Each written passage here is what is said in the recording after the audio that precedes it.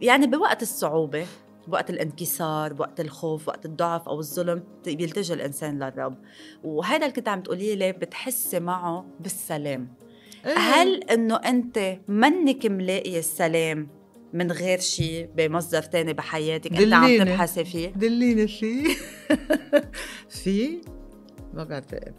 يعني ما في يعني السلام اللي هو بيعطيك إياه لا, لا كما يعطيه مم. العالم يعني ما في.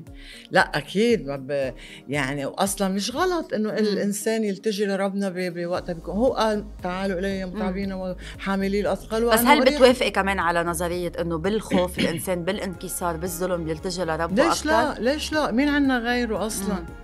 إنه ليش لا؟ بالعكس ما هو فاتح بابه. إذا هيدا الباب بده يكون يعني بداية الطريق لكون أنا برفقته ومعه why not هو ما عنده مانع ابدا.